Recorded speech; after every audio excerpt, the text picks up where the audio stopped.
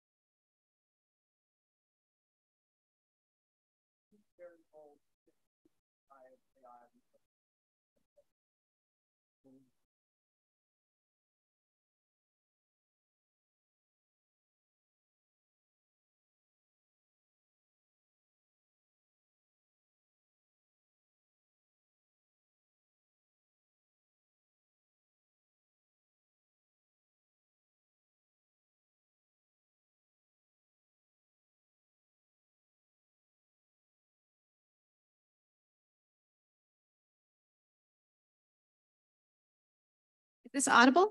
Good. Thanks for joining us early in the morning, folks.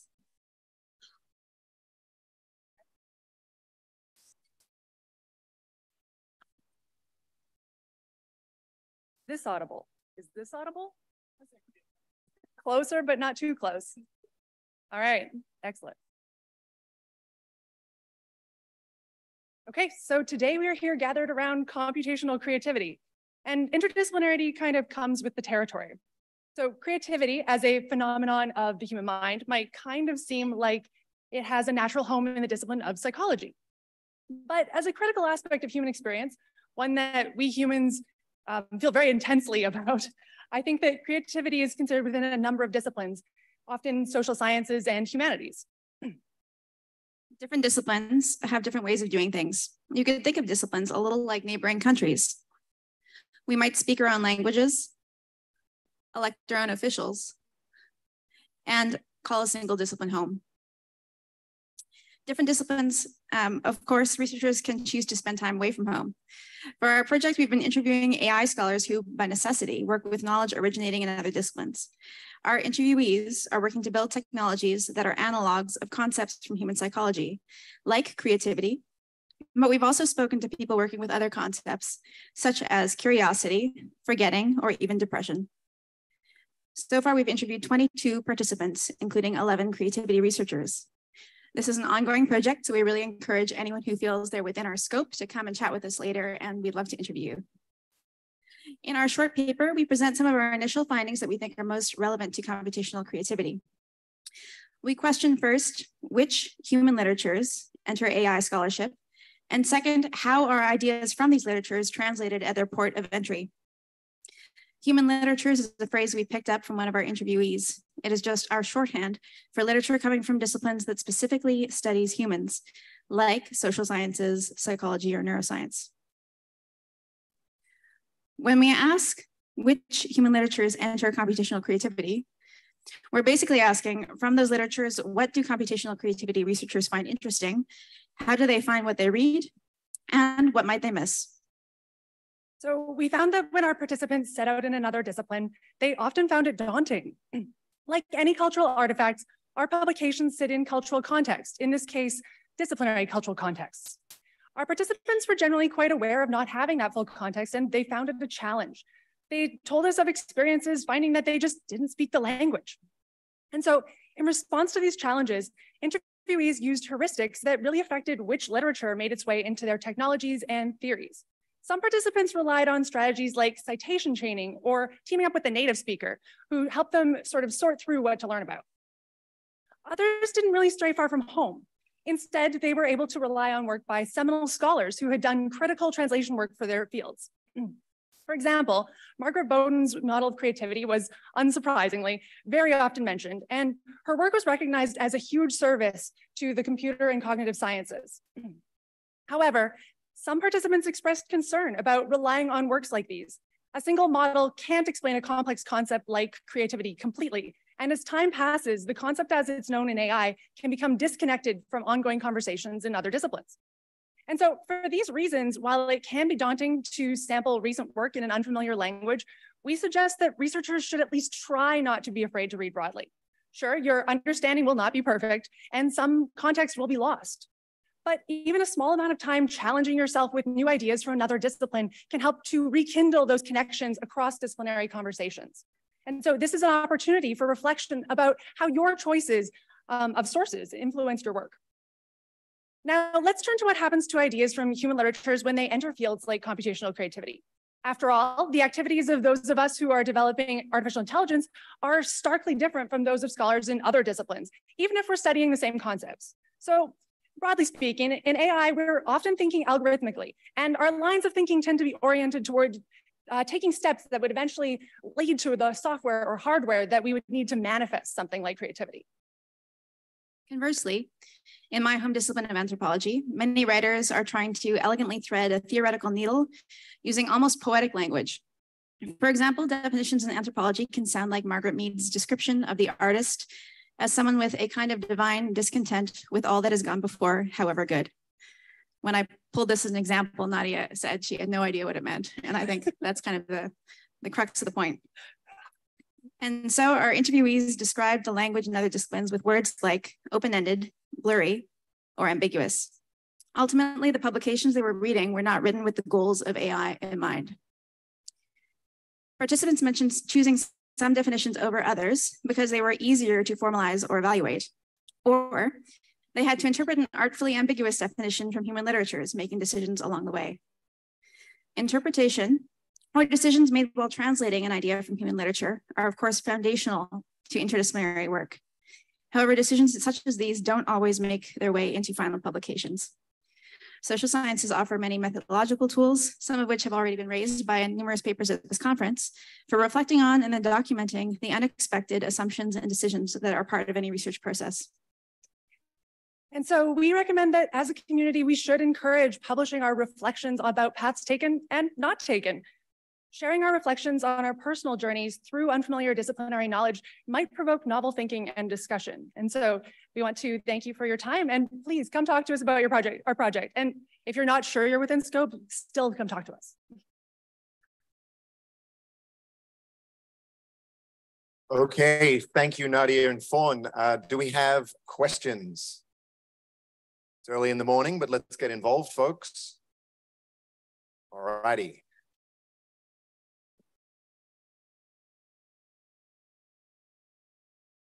So sometimes the issue with with doing this, uh, trying to figure out how to use math and logic to model something you've learned um, in a different field is it, it comes through quite soft, and you have to figure out, okay, and this is what you were talking about inter interpretation. How do you interpret this as, you know, in a in a direct form of of sometimes math and logic that you would need for programming? Occasionally, we get these amazing people I would play like Ekman for emotions and faces and Laban for dance, who actually seem to have this way of taking this this ambiguous area and at least parsing it for us. Um, any thoughts on on on how, how you take sometimes more open, ambiguous uh, uh, uh, knowledge and try and kind of parse it at the level that that these people have done and we're trying to do? I can start and you can add if I miss anything.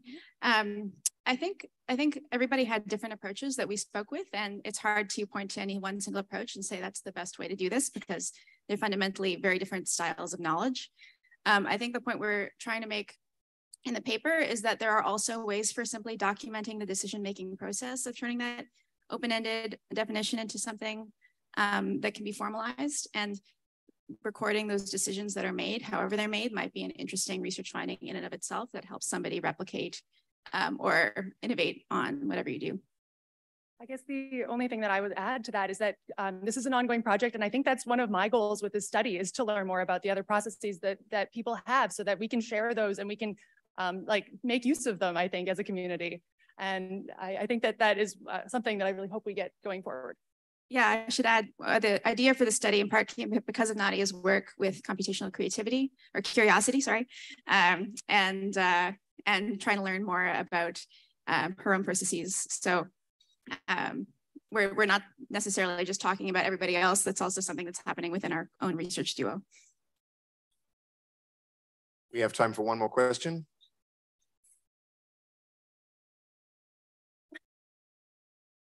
You guys decide, right? Yeah. You're closer to me, I win. Um, I wanted to ask about your second point here about the continuing to support the legitimacy of reflective data. Do you have any specific suggestions around how to report the sort of decisions made in interpretation? Yeah, happily. Um, I think there were some good examples in this conference already uh, for people who are bringing um, ideas from qualitative analysis into their work. Um, and so um, there's lots of like there's kind of myriad methods in the social sciences, but some might be autoethnography, um, science, technology, and society uses that in aligned with case studies in a very kind of helpful way, as does UX uh, research. Um, some other ideas, I think somebody at this conference mentioned thick description. Um, a lot of people have been doing kind of thematic analysis, but just the act of maybe keeping a keeping a diary of decision making, um, as, as weird as that might sound, and then thinking of that as a type of data in and of itself is something that other disciplines often do. Thanks. All right, let's give another round of applause to Nadia and Faun. So our next speaker uh, is Alight Isaac, who will be uh, talking about stories. Stories stay, lessons leave, uh, principles on AI art from photography. Thank you, Alight. Hi.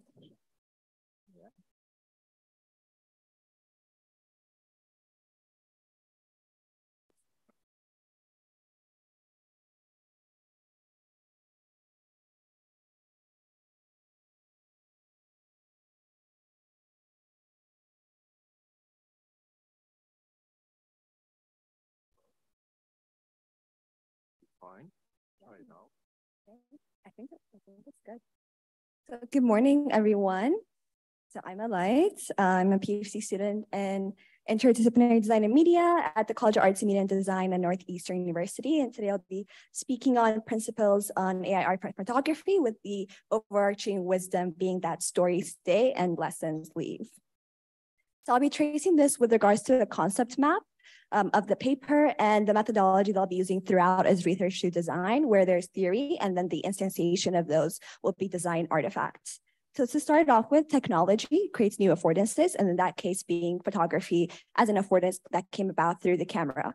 And photography in itself came about to be a discipline through various iterations through the people that were interacting with the medium. So there were cyanotypes, there was the printing out method, and to the extent where pictorialism, which was a movement that really grounded photography to become an artistic discipline in itself. From this, we can grasp different lessons in which we can draw various principles in which I'll go through one by one. So to start off with, some are more trivial than others. It's the sense that technique creates a discipline. It's the technique that you have within your ability to use a medium per se that allows you to uh, have a discipline that can in its sense stand on its own. And for this, the design artifact is what I'll be speaking of next is of an AIR technique in which I look about the presence of electrical activity in fungi. So this is an example that came about when I was reading an academic paper that talked about spiking activity in mycelium networks it wasn't necessarily, so the researchers talking about how it wasn't something you can see through a microscope, nor was it purely imagined. It was somewhere in between. And so to grasp that in between of a sort of imagined data set is when I prompted this image for activity of uh, the possibility of finding the current within the hyphae. So what you see on the left is more of an outside look, an external one of the spiking activity. And on the, on the right is the actual activity within the current moving through the hyphae. Next, we have the second principle, which is that instrument as to transition from a tool to an instrument. This exists still on the metaphorical sense, where it's the analogy of transitioning AI from, say, the paintbrush to the canvas. So what does it mean for the AI to be the canvas as opposed to the paintbrush? And so for this theory was really looking at more pragmatic points of view with regards to what's artistic and what's aesthetic, the difference between experience as judgment and artistic expression. And the instantiation or the design artifact for this is the interpolation of experiences.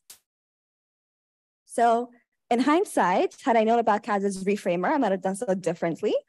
Um, but this is Google's AutoDraw, which allows you, it's an interactive tool that allows you to draw sketches, which are then rendered upon as um, various suggestions. So what I have on the left is a wave that I roughly sketched. And then on the top right is a wave that it assumed I wanted. But then on the bottom right is the sense of a castle. And so really working back and forth with the medium and interacting with it in a sense of an embodied experience was sort of that transition of a tool to an instrument. And this still exists on the metaphor sense. So there's a little more to do here, but this is sort of the example that I had to bring about.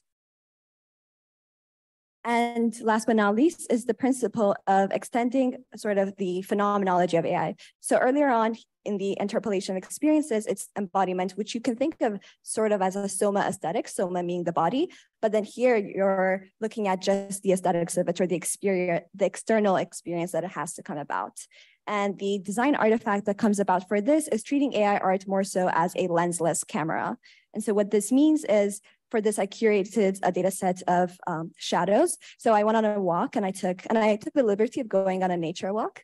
and went around taking pictures of various shadows that were in the city to create a data set, which then would be translated towards the instantiation of experiences that you can draw with this. So the ones in Square are the ones that were generated via AI art, um, which included aspects of a camera. So the aperture, the lens type, the angle, the time of day, these are the configurations of the camera. Then you have the actual descriptions of the image alongside the experience of what it meant to take that photograph in that moment in time. And this was seasoned from vocabulary from a experienced um, photographer. And so on the top left corner, I've brought the Canada geese to their rightful home. Um, and so those are what we have there. And then on the bottom right, which is something I wanted to point out is the one in square, the AI art is almost very similar or feels as if it was there to take that photograph of the person that's walking through the park that for the image that entails a narrowed view. And so to bring it all together of the concept map that goes in full scheme is the sense of AI art aesthetics with the big picture being to draw it towards an aesthetic discipline that's not necessarily conjoined by the tools that are present to create the discipline, but rather have it stand on its own. So then the discipline arises in the same way that photographs, say, for instance, were photograms, which were photography without a camera. Thank you.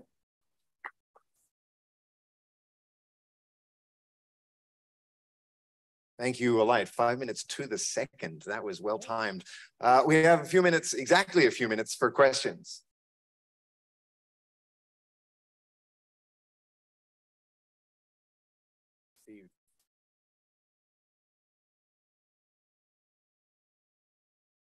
One of the issues sometimes even with just like now phones is what they could be so many different things that it's actually the lack of constraints that sometimes you're not really sure how to use it.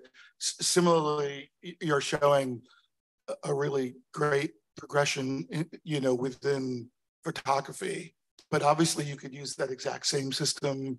You would claim like a, a big terrible meme is is its use in visual puns, you know, just the silliness. And then there are people doing it kind of deeper and moving through art spaces. So what is your thought about how to keep keep this parsing it, knowing that without these these typical constraints of the, of in some ways the hardware, what a photographer, what a camera can do versus what a paintbrush can do, and that you can move between them. Kind of how do we parse that kind of reasonably? So parsing the constraints that could come about the, the medium being something you can learn. So learning how to use a paintbrush would be different from learning how to use a camera and the constraints that come about that. Um, one of which being is perhaps the more you interact, so there's an aspect in the paper as well where I mentioned, so a painter is tailored to paint to a certain scheme. Your, your eye tailors to the images that you see as you're walking, say, to see an image that you'd want to paint. In the same sense, a photographer's eye becomes tailored. The more for instance, on the here when I was walking around taking the pictures, the more you take the pictures, the more you realize that your eye tailors to certain images that would be photographable per se. And in that sense, when you're playing out with the different mechanisms that are available on the camera, the configurations, that also allows you to navigate the aspects in which you'd want to capture the element. So you as a painter knowing whether you want to use acrylic or watercolor or oil paint is in a similar sense allows you to tailor as a photographer of the different configurations that you'd like to use. So perhaps it's acquired with each medium having its own affordance, but the the, that's sort of the differentiation that also exists within the mediums themselves about your choice to whether wanting, wanting to be a photographer or a painter. Time for another question. Okay, so uh, I have one of my own then. So one of the things that's really fascinating about these lensless camera photographs is that I find your photographs more interesting, mm-hmm. but from a sort of strict textbook compositional perspective, the lensless camera has sort of like followed all of the rules to a letter as regards, you know, uh, vanishing points and compositional perspectives and stuff like that. I'm thinking particularly of the park photo, right? Like that's that's uh, uh, in a sense, um, it collapses. We're not given we're not given direct instructions. These algorithms collapse the kind of compositional space, the design space towards, uh, you know, we, we talk about mode collapse, but also this is kind of a stylistic mode collapse. Not only are all parks Central Park, but uh, all photos of a park are composed in exactly the same kind of way. Um, I wonder if that came up through your research through design, this, this idea uh, of stereotypical framings or, or uh, kind of high, highly typical framings at least? These are some of my thoughts. If it didn't come up in your you, that's totally fine. No, that's totally doable. Um, so these are four of 64 shots that I took in totality, and these four I gr were grasped because of what it entailed in that moment of taking these photographs. So from a completely stylistic point of view, there were other images within the corpus that would visually look different as opposed to the actual experience that was exhibited within what we see here. So from the bottom left corner for the expression of intent, that was the shadow of a shrub that was on a random cornerstone, but rather looking at it from an extensive point of view of just the image, it wasn't, it didn't necessarily have that element of this is an image that really looks interesting. It was more so, oh, when I took that picture, I didn't expect the photograph to look this way. So that was the element that came about it. But in terms of collapsing, the so the one on the bottom right corner of the person walking in the park, that could be any park. So that's there's a sense of collapse in that moment. But I think what's thrilling about that is the ability of the model to capture the photograph that was there in that moment. Perhaps I can play with the seeds a little more because what I have are the configuration of the camera, the experience of taking that photograph, and the description. So accounting for a mode collapse or preserving the contextual element of that photograph within the prompt would be a way of preserving that and incorporating it. So definitely. All right, let's thank our speaker again. Alai, thank you. Thank you.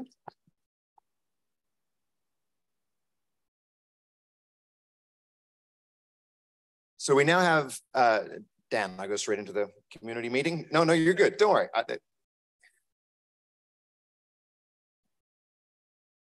so we have a bit of an opportunity before we all jump on the bus and go look at a waterfall um, to have a uh, to have a brief community meeting um, to discuss uh, the way we want to conduct these uh, meetings in the future uh, and what the uh, substance uh, as well as the structure of these of these meetings should be. Um, and I I have some thoughts my myself that I want to throw some questions that I want to throw to the to the floor. Um, so I'm going to take chair's prerogative and kind of start with one of those. But I, I want to make sure that we, we leave time in this discussion to hear from from you because that's kind of the point of a committee meeting. Um,